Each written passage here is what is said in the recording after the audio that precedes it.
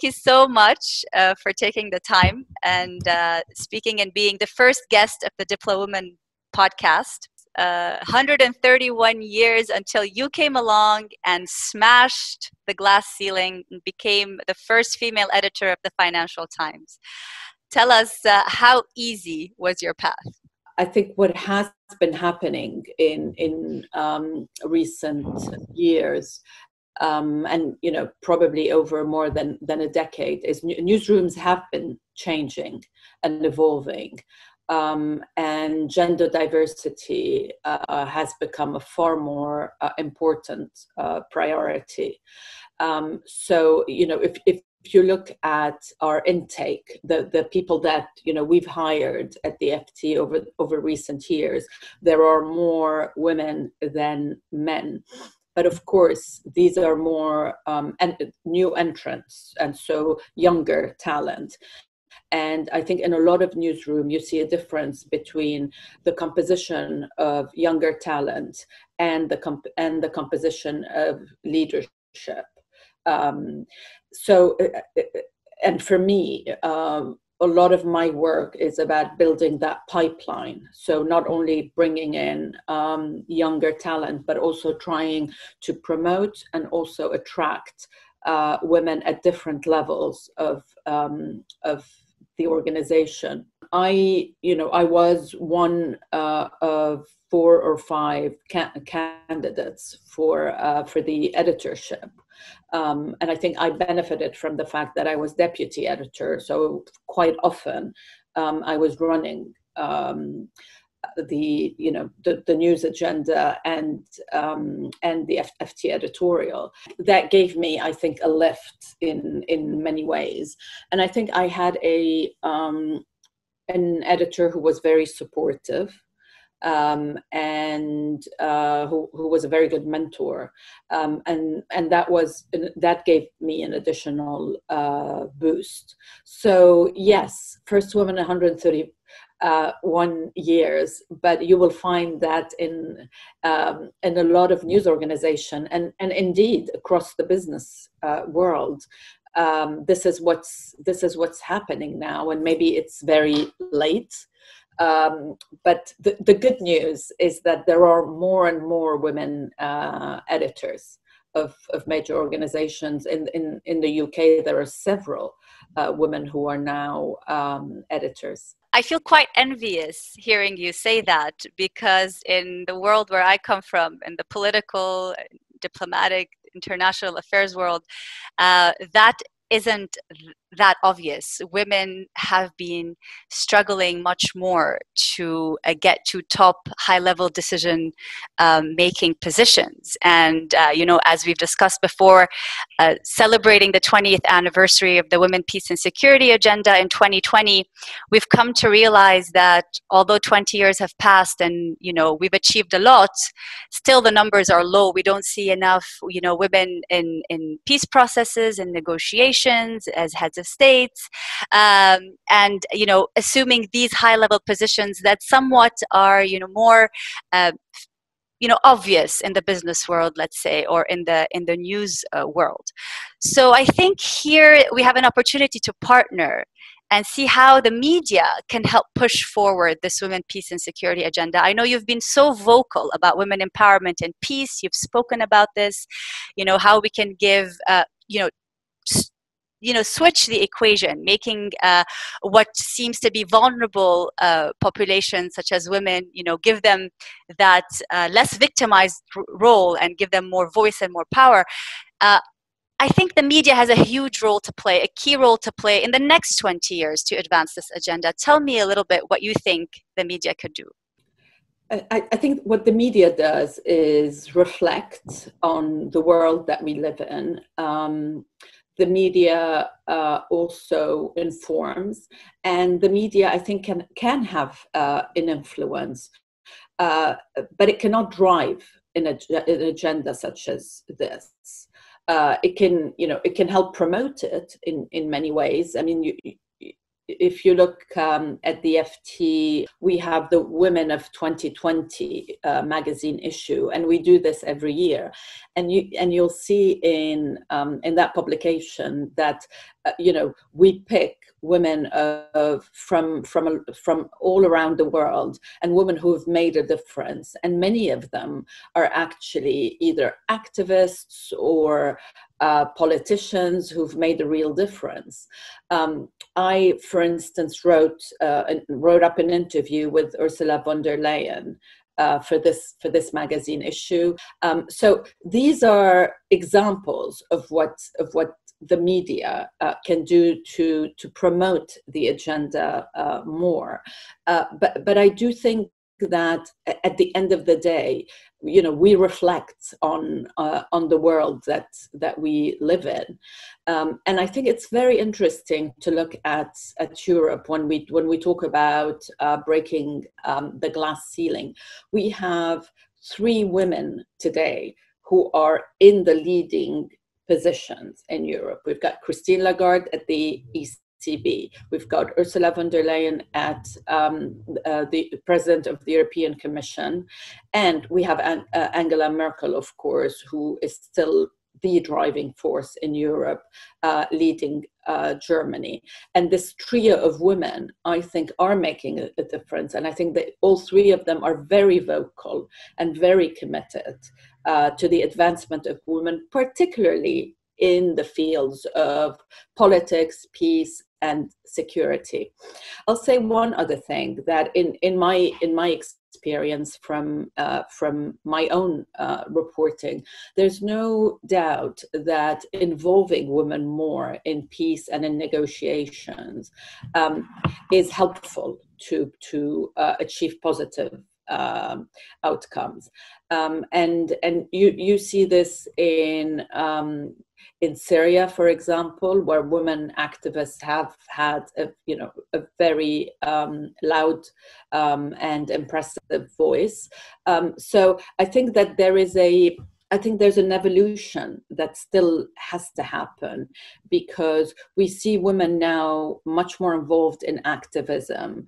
Uh, in some areas, as I mentioned, in, in Europe, they are in some cases achieving positions of power.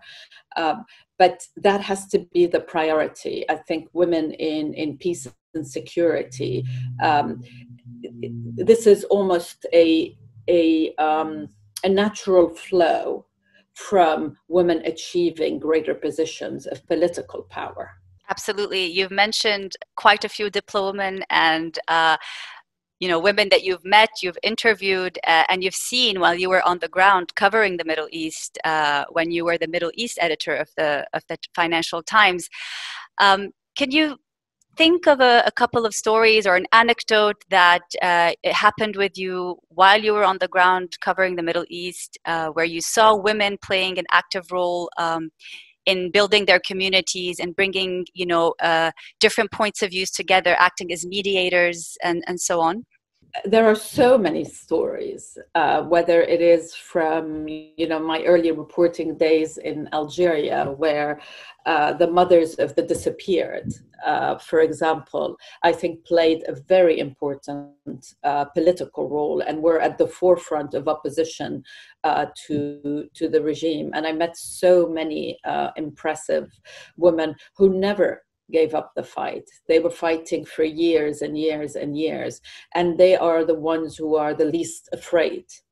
Uh, and that is, you know, th- th- that's um, often I think in in repressive um, um, governments, what what you see is that women are more willing to stand up uh, for um, for their rights, and especially when it comes to husbands and um, um, and children who are who are in jail.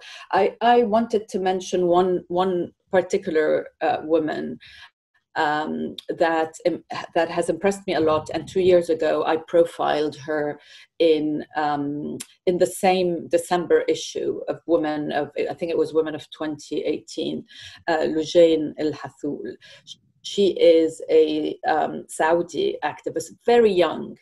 Um, and um, very passionate. Uh, she, she, was part of the campaign um, to allow women to drive in, in Saudi Arabia.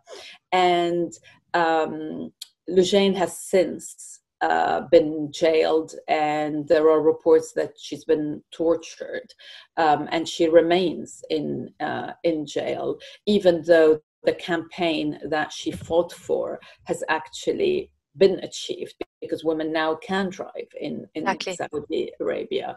Um, so I profile I, I met her um, and I profiled her for for this issue, and I find it very depressing that you know I'm I'm writing again for the same uh, issue of the magazine, and she's in jail but you're you're giving a voice to these women and that in itself i feel is, is a big you know contribution in advancing uh, this agenda that we were speaking about. And you mentioned algerian women. I want to also give a big shout out to the yemeni women that are actually uh, working super hard on you know prisoner exchange. And actually they're the ones who are achieving these things. And you know things have been uh, frozen for many years. And they were able to you know push this uh, forward the prisoner exchange uh, issue forward and i think in syria in syria as well if you look at the past um, the past few years, I think women have played a very important role in in trying to bring um, peace to to Syria.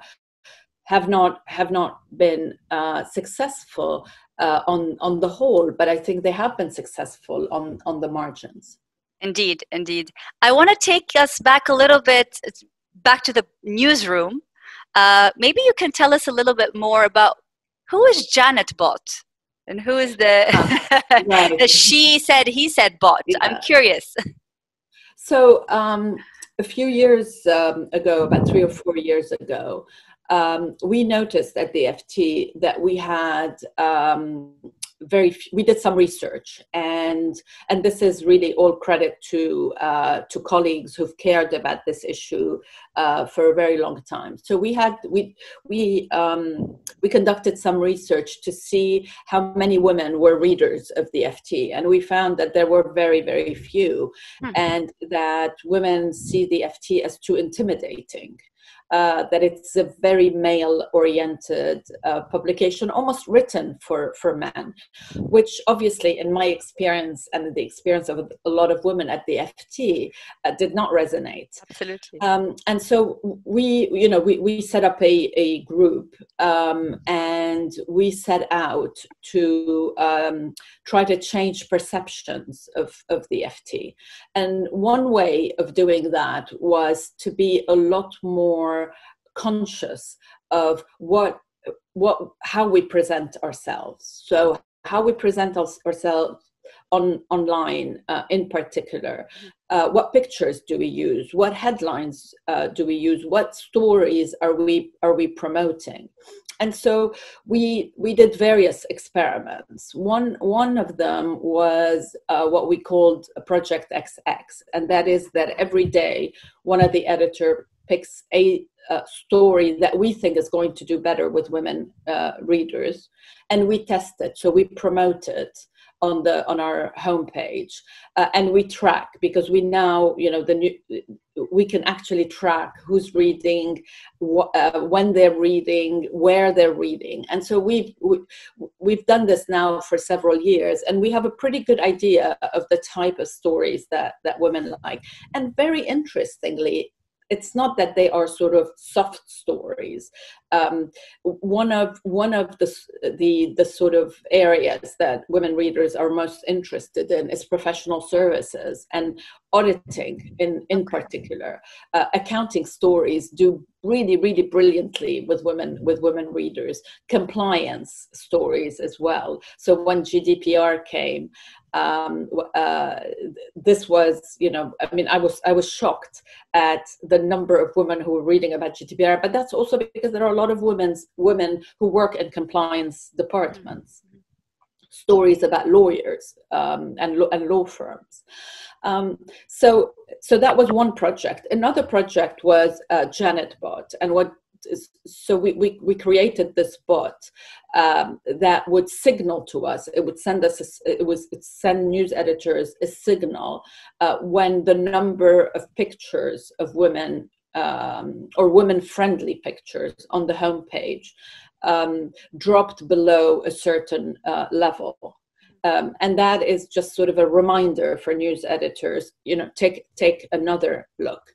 Um, one of the more recent initiatives um, has been uh, what we call the 50 50 project. This is a project that was started by the BBC and sort of spread to a lot of uh, organizations, and we joined it. It's a totally voluntary project, so various desks um, join if they want. Um, and um, this is an attempt to actually take a, take a much closer look at who we quote. How many you know how many people uh, how many women do we quote as part of our our, our reporting? Um, and it's very interesting because by making it voluntary what's happened is um, more and more uh, more and more desks have joined and have wanted to be to be part of it because to me you know 50% of the battle is really awareness I think the more aware uh, news desks, news editors, and news organizations are uh, about what they're not doing, mm-hmm. uh, the more progress you make. Because eventually it just becomes second nature to say, you know, this is a story that hasn't quoted a single woman or you know there is no you know racial diversity or ethnic di- diversity. These are things that you know become part of what you do. But in the beginning you need to sort of introduce them um, have newsroom champions um, bring in specific initiatives. And little by little um, i think you see progress. And in fact i mean i'm you know it's very difficult to move the needle but we have been uh, our you know our data shows that there are more women now reading the ft um, one of the other things we had noticed in our original re- uh, research is that even women who were subscribers to the ft were not actually engaging with it. Yeah. Uh, so they may get it for free from their from their companies, but they weren't really reading it because they didn't think it was for them. So mm.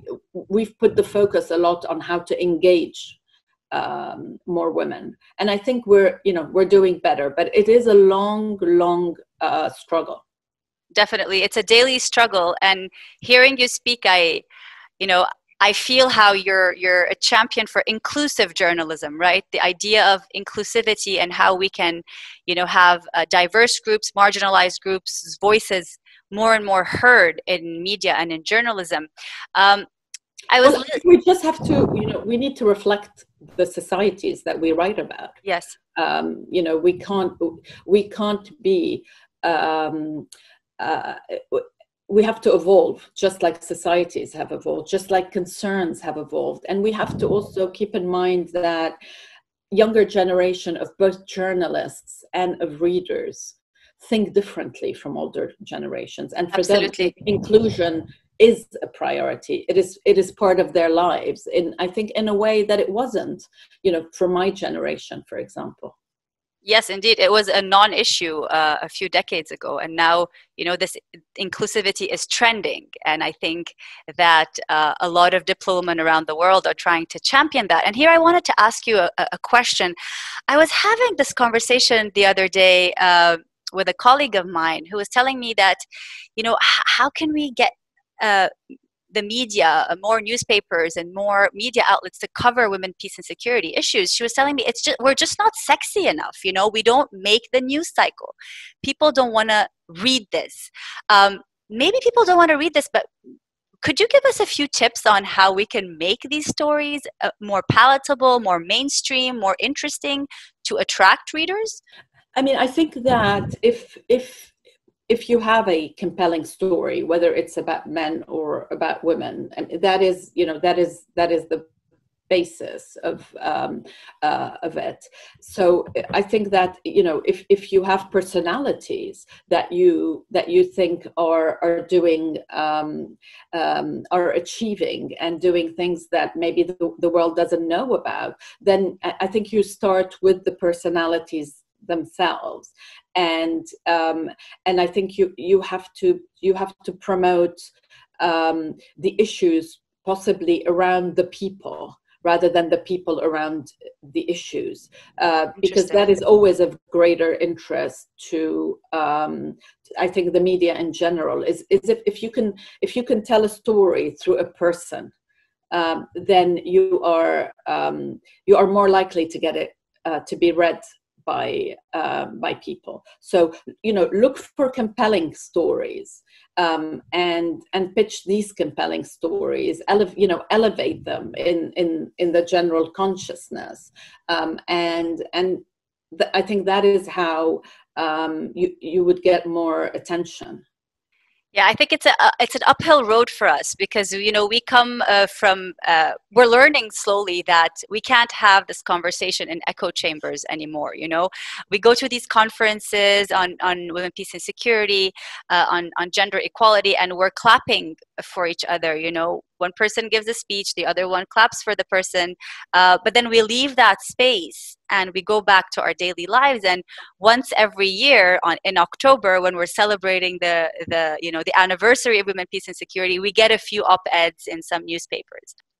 Uh, I, am really interested to continue this conversation with you and other uh, like-minded journalists who are rooting for inclusive uh, journalism on how we can you know sort of work together to advance uh, these kinds of news feeds uh, and and uh, you know introduce this to the mo- the mainstream population you know moved so, so i mean one thing that i did i noticed is um, uh, i also was going a lot to to conferences about women.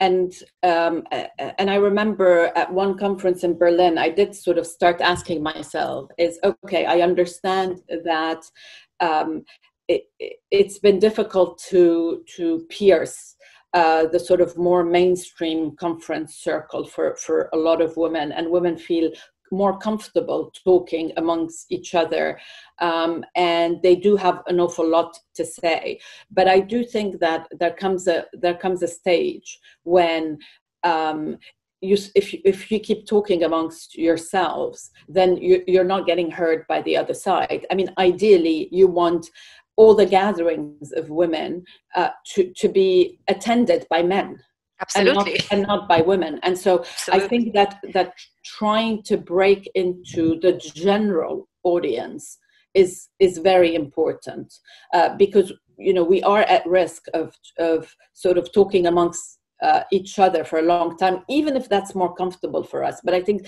this is a question of phases and stages. And in the in the next stage, I think that you need to mainstream this again. Now that you're comfortable, uh, you know, speaking and being on panels and, and moderating panels, you want to bring that back into the main sort of peace and security space rather than making it only women in peace and security.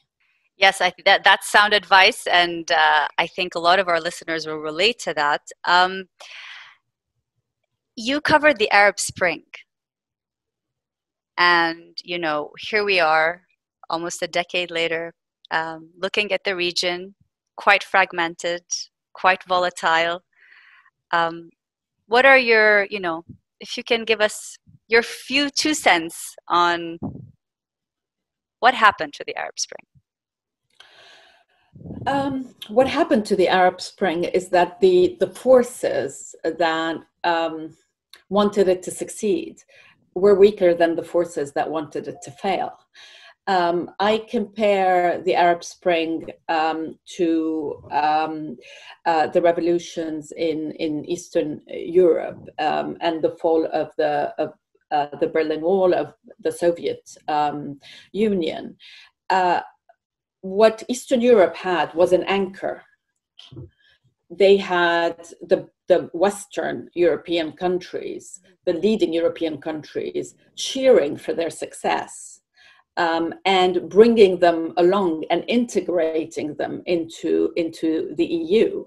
Um, what what I think the Arab Spring lacked is an anchor, is is countries that would have uh, pledged and implemented support political support, financial support, in order to make these revolutions a, a, success. Because you have to remember that these were all countries where there was very little um, practice of, of democracy. And, you know, for many of them, democracy meant, you know, Get, let's get rid of a dictator and have elections. And elections are not necessarily the, the answer at the very beginning. You know, you need to establish political parties, you need to establish uh, competition between political parties and enough um, choice for uh, for a population for voters uh, before you have uh, elections, and so you know it's. I tend to see the Arab Spring. Um, as a moment in in history that I don't think you need you, you should evaluate on its own. I think it's you know it's a process. Uh, in history you've got you know setback you, have got a uh, progress setbacks and you'll get you'll get progress again.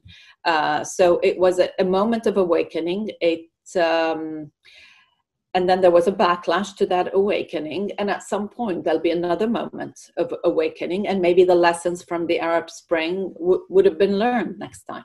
I think many in the region are waiting for that uh, particular moment in time, uh, especially the youth. Uh, you know, the, I know I'm sitting right here in Lebanon. I'm sitting in Beirut, uh, and I look around and I see the new generation. Uh, you see university elections being won for the first time, and majority, uh, majority, the secular club uh, clubs in different universities uh, taking the highest number of seats.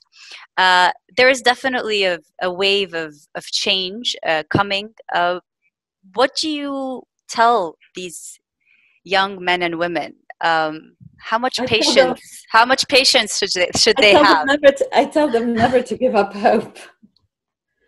Um, they can't, you know, they can't give up hope. I know that there there are a lot of reasons to give up hope, uh, but they can't give up hope uh, because I think they're on the right side of history.